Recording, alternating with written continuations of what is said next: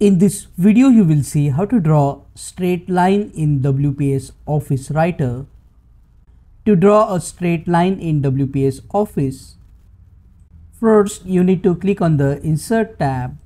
Under the Insert tab you will see the option of Shapes. Click on the drop down and then select the line. Now if you directly draw a straight line, it's difficult to draw straight line the solution to this problem is that before drawing the line, you need to press and hold the shift button on your keyboard and then draw a line.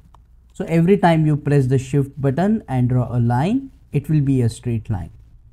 If you want to change the thickness and color of this line, then just click on the line to select it, right click and then click on format object.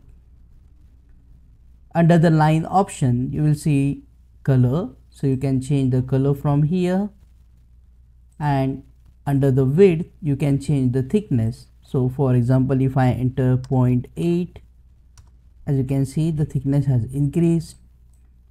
So so on you can change the thickness of the line. If you want to make it dash or a dotted you can select it next to the dash type dotted or a dash line like this. So that's how you can draw a straight line in WPS office writer now check out these useful videos related to WPS Office if you want to learn quickly. Click on that like button, comment below and let me know if this video solved your problem. See you again in the next one.